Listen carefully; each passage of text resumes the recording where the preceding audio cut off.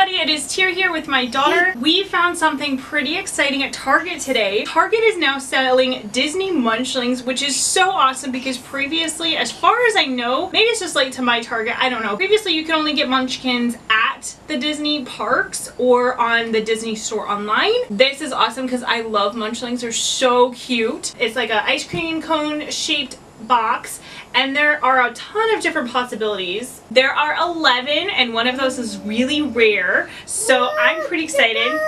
They're also scented. This is series 1 so I'm assuming there's going to be more. The price is fantastic by the way. It's only $7.99 so that's awesome because that's a lot less than they are at the Disney parks. Alright you ready to open it up?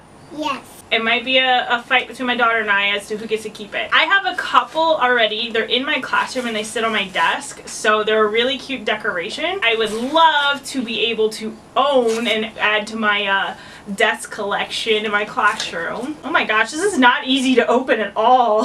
Gonna be Pua. There is a little pool one. They're ice cream themed and there's a pool one and so if it's Pua, she gets dibs. Ooh, it's orange. It might be turning red. Yep, it's from Turning Red. So we got the Red Bean Shaved Ice Panda Mei from Turning Red. Ooh, that smells good. Should we get another one in the future?